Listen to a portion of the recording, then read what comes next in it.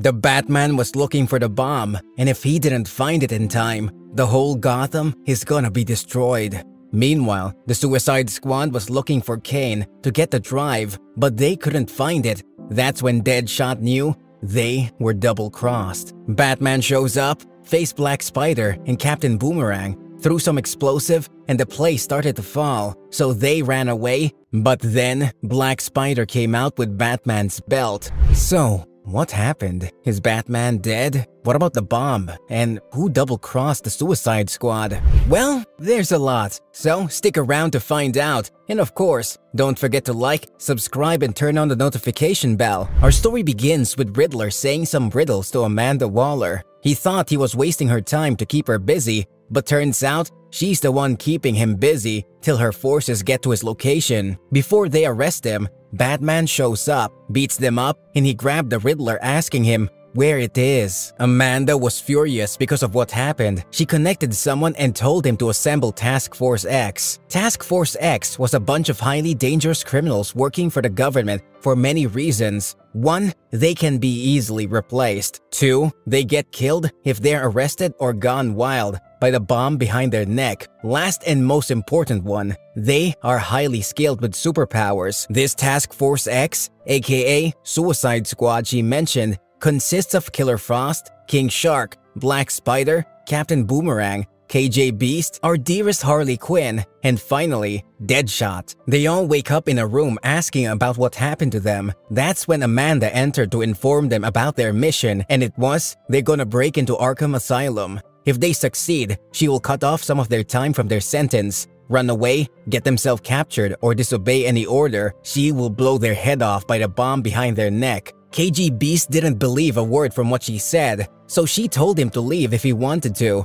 But as soon as he stepped outside the room, his head was blown. Amanda started to tell them about the details. A week ago, Riddler managed to hack her computer and he downloaded a file containing the identity of every current, past, and potential members of Suicide Squad and threatens to release them on the internet and they're gonna get it back. That file is from the drive in Riddler's cane. Their biggest concern is Batman, so Amanda told them he's working on another case. Then we see them tied in some chains, and when the signal comes off, they find themselves falling from a plane and finally, they're in Gotham. They had to move through the sewer cause they can't take the risk if Batman saw them. They first go to the Iceberg Lounge to meet the Penguin cause he's the one who will get them the papers and the tech they need to sneak into the asylum. When the Penguin saw Harley, he lifted a gun to kill her cause her and Mr. J stole a truck from him and they threw it off a bridge just for fun. Luckily, Deadshot managed to calm things down so Penguin gave them the paper and a place to sleep for the night. They hit the bar after they gear up and we see Amanda talking to Killer Frost cause she has a special and secret mission for her. Next day, they start their mission.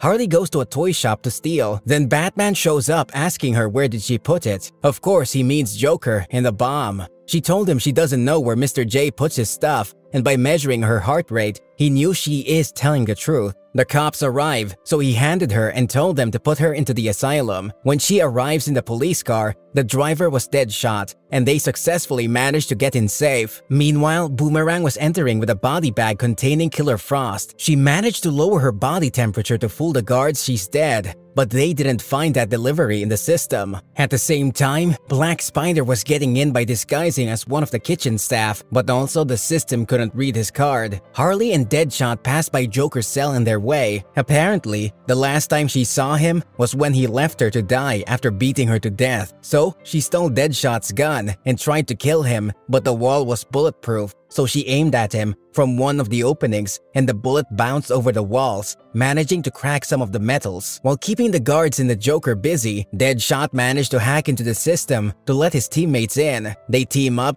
went to the basement to let Shark in with their gears. They first went to the security room to turn off the cams, but Deadshot told them if they shut it off, Batman will know something is wrong. So strangely, Shark told him about his brilliant idea, and that was to play the footage of yesterday, and that will make them work little freely without Amanda's watch. On their way to the intensive treatment building, they came across a few guards so Deadshot and Boomerang finished them off, but one of them managed to call for backup and the fight with security begins. Meanwhile, Batman was doing his superhero stuff and when he got to the Batmobile, he found the alert from the asylum, and in about 5 seconds, he figured the trick, so he headed off to the asylum. When the squad got into the building, Harley was working here, so she knew the password and they headed to search for the Riddler's cane. While Harley went to the Joker stuff to find her hammer, Deadshot found a cane. That's when Batman broke in and started to beat them all. The only one matched for him for a couple of minutes was Shark, but Batman managed to bring him down eventually. Boomerang shot some explosives, but Batman managed to dodge, but the place started to fall, so they all ran away except Batman and Black Spider, who were facing each other. After they got out, they see Spider coming out with Batman's belt. So did Black Spider really manage to defeat Batman? Also, when they took a look at the drive, it wasn't there. That's when they noticed Killer Frost is missing, and she was in front of Riddler's cell. Amanda ordered her to kill him, and she was gonna do it. No questions, but Riddler begins to play with her mind. He asks her, do you know why she wants to kill me?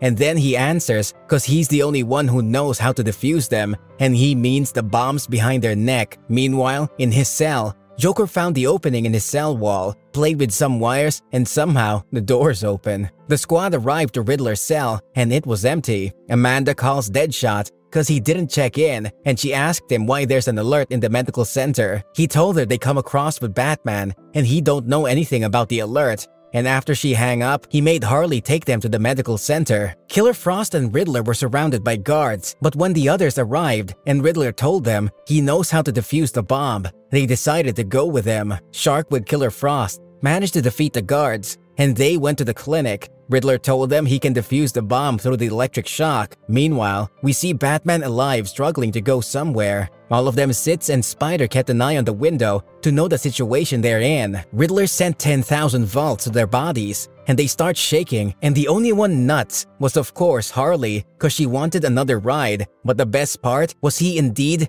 managed to defuse the bombs. Meanwhile, the Joker suited up again, and he found Batman in his way. Amanda felt something is wrong, so she turned the bombs on and unluckily, Shark's body was too strong, so he needs an extra charge, but they couldn't do it in time, so he's dead. But the strange thing was Black Spider, cause he's still in one piece. And that, my dears, was the Batman. Cause Joker was timing to kill Batman when his head exploded. He was thinking his gun did this, but he's nuts anyway. Riddler immediately started to shoot Batman, and he turned the shocking device by accident. Batman brought him down, freed Deadshot, and asked him why they are here, so he told him about Amanda, but their conversation is cut off by the Joker. Because of the shots and the explosions, Batman took off from the window and the others managed to free themselves and ran away. They met Joker in their way and Harley was happy to see him free. Well, woman just pick a side, love him or hate him.